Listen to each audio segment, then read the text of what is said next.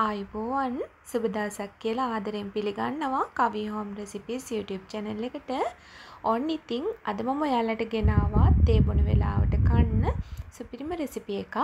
මිනි pocket සදාගන්න විදිහ. ඇත්තටම මේක ගොඩාක් රසයි. බර්ගර් බන්ස් පරාදයි. මම හිතනවා ඔයාලා කැමති වෙයි කියලා මේ රෙසිපි එකට.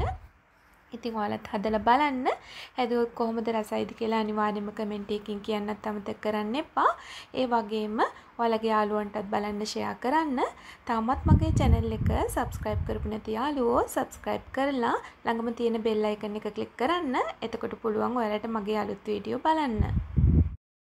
මුලින්ම අපි බෝල් එකක් අරගෙන ඒකට එකතු කරගමු ඊස්ට් තේ හැඳි දෙකක්. ඒ වගේම සීනි මේස හැඳි එකක්. මේ එකතු කරන්නේ මද උණුසුම් ජලය මේස හැඳි හතරක් විතර එකතු කරගන්න. එකතු කරලා මේ විදිහට ටිකක් කලවම් කරලා පියනකින් වහලා විනාඩි 10ක් විතර පැත්තකින් තියාගන්න ඊස්ට් එක ඇක්ටිව් වෙනකම්. ඔන්න දැන් මේ හරියටම පෙන්නන්නේ විනාඩි 10කට පස්සේ ඔන්න ඊස්ට් එක ඇක්ටිව් වෙලා තියෙන්නේ හොඳට. දැන් මේකට එකතු කරගන්නවා ෆ්‍රෙෂ් මිල්ක් මෙෂරින් කප් එකක්. ඒකටම එකතු කරගන්නවා පාන් පිටි මෙෂරින් කප් දෙකක්.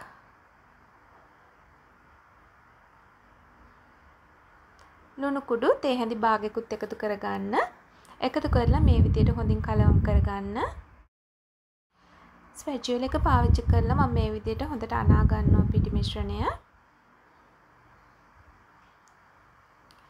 ඔන්න මේ වගේ පිටි ඩෝ එක හැදෙනකොට මම ස්පැචුවල් එක පැත්තකින් තියලා අතින් අනා ගන්නවා.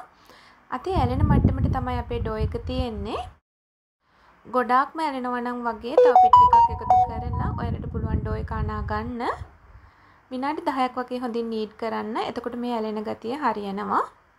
ඔන්න දැන් අපේ ඩෝ එක ඇලෙන ගතිය ඉවත් වෙලා තියෙන්නේ. ඔයාලට පේනවා. දැන් ඩෝ එක සොෆ්ට් වෙලා තියෙන්නේ හොඳට. ඊළඟට මම බෝල් එකේ මේ විදිහට තෙල් ටිකක් ගාලා අපේ ඩෝ එකෙත් මේ විදිහට තෙල් ටිකක් ගා ගන්නවා. එකලා ඩෝ එක මේ විදිහට තියලා මේක කවර් කරලා විනාඩි 45ක් පැයක් වගේ කාලයක් මේක ඩබල් සයිස් වෙන්න පැත්තකින් තියාගන්න ඕන. මේ ඔයාලට පෙන්නන්නේ හරියටම පැයකට පස්සේ අපේ ඩෝ එක දැන් ඩබල් සයිස් වෙලා තියෙන්නේ. ඊළඟට මම මේකේ පිරලා තියෙන වාතය ටික මේ විදිහට ඉවත් කරගෙන ඩෝ එක මෙන්න මෙහෙම ඉවතට ගන්නවා.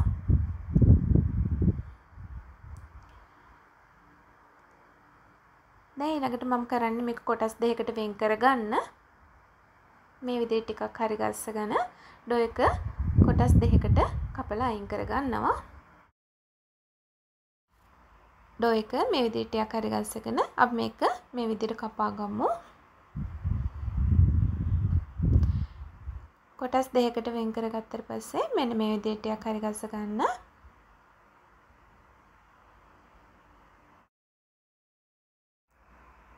ඊළඟට මම කරන්නේ මේ එක පිටි ඩෝ එකක් අරගෙන දිගහැර ගන්නයි ලෑස්ති වෙන්නේ. ඉතින් මේ විදිහට ඩෝ එක දිගහැර ගන්න තැන පිටි ටිකක් ඉහලා මෙන්න මේ විදිහට පිටි ඩෝ එක තියලා මෙන්න මේ විදිහට දිගහැර ගන්නවා.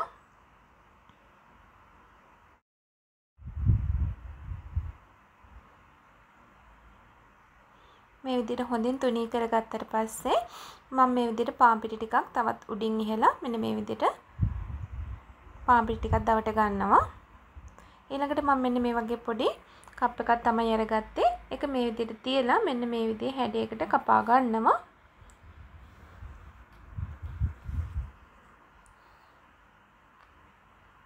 මෙන්න මේ ප්‍රමාණයේ රවුම් වලට කපා ගත්තට පස්සේ මෙන්න මේ විදිහට ඉවත් කර ගන්නවා ඊටු ටික.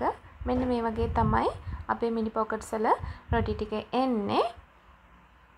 ඒක තියාගන්න භාජනෙත් මේ විදිහට පිටි ටිකක් ඉහලා කපාගත්තු රවුන්ඩ් ටික මම ඒකේ තියාගන්නවා.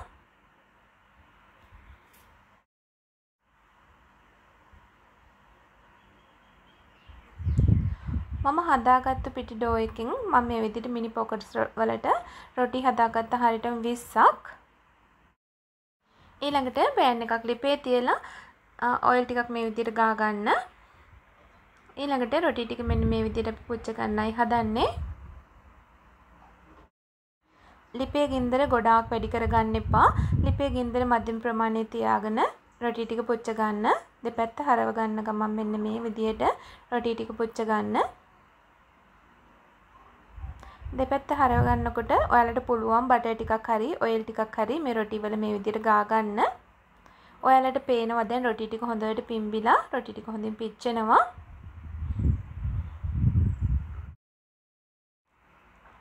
මේ විදිහට දෙපැත්තෙම හොඳින් බටර් ගා ගන්න. එතකොට ගොඩාක් රසයි වගේම හොඳ ලස්සන පාටක් එනවා. ඔන්න දැන් රොටි ටික පිච්චුණා ඇති. මම දැන් මේක ලිපෙන් අයින් කර ගන්නවා. ඒ විදිහට ඔක්කොම රොටි ටික පුච්ච ගමු.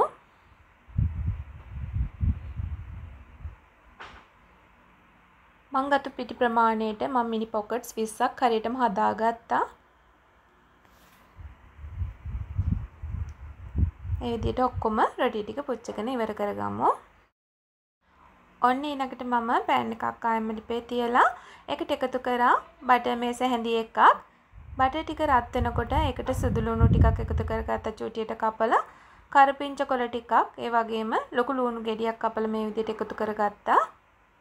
මේ දේවල් ටිකත් තෙලේ තෙම්පරාදු වෙන්න ඇරලා අවමිරිස් කරලක් සහ පොඩියට කපාගත්ත තක්කාලි ගෙඩියකුත් එකතු කරගන්නවා.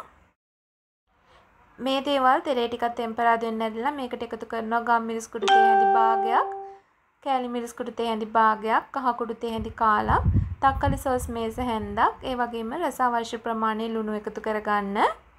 එකතු කරලා මේ විදිහට හොඳින් කලවම් කරගන්න. මේ ටික හොඳින් ටෙම්පරාදු වෙන්න ඇරලා ඊළඟට මම කරන්නේ මේක පැත්තකට අයින් කරලා බිත්තර දෙකක් මේ විදිහට ගාලා එකතු කරගන්නවා. බිත්තර වෙනුවට ඔයාලට මාළු හරි චිකන් හරි එකතු කරගන්නත් පුළුවන්. බිත්තර ටික එකතු කරලා මේ විදිහට කෑලි වලට කැඩෙන්න බිත්තර ටික හැඳගා ගන්නවා. ඊළඟට ඔක්කොම කලවම් කරලා මිශ්‍රණය හදා ගන්න ඕන. මේ විදිහට කලවම් කරලා ටෙම්පරාදු මිශ්‍රණය හදා ගන්න.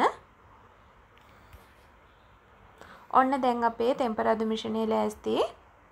අපිට පුළුවන් දැන් මිනි පොකට්ස් ටික හදාගන්න. මේ තියෙන්නේ මම කලින් පුච්චගත්තු මිනි පොකට්ස් ටික. ඉතින් මේක දැන් මම මේ විදිහට මැදින් කපා ගන්නවා.